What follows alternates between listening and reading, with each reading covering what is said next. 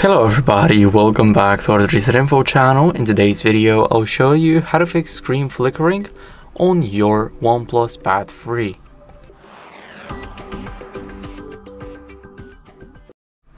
So first, what you guys want to do is go over to settings and here go to the display and brightness. Now here, make sure to disable auto brightness and then change the brightness of your device. So after you adjust the brightness, then what you guys can do is download the Screen Dimmer app from Play Store. So I'll show you which one. Let's go to Play Store.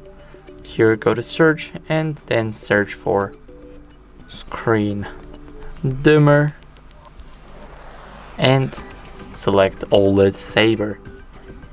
Now it's this app right here now click on install. It's 2 megabytes, so it won't take much of your storage. It will take practically nothing. So all we gotta do is wait for it to download.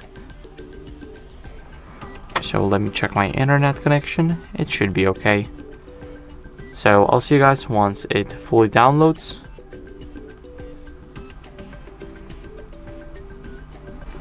And now we're ready to open the app.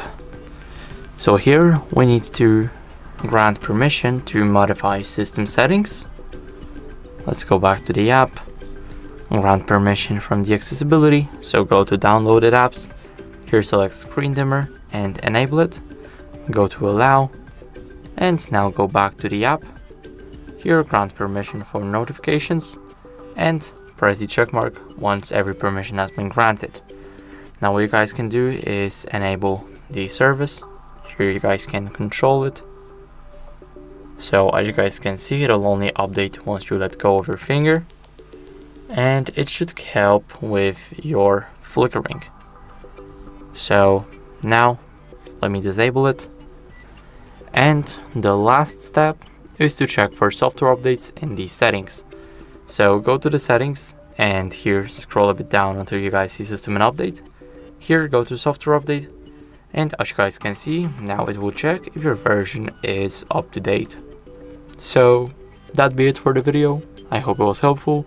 And if it was then leave a like sub and a comment. And i'll see you in the next one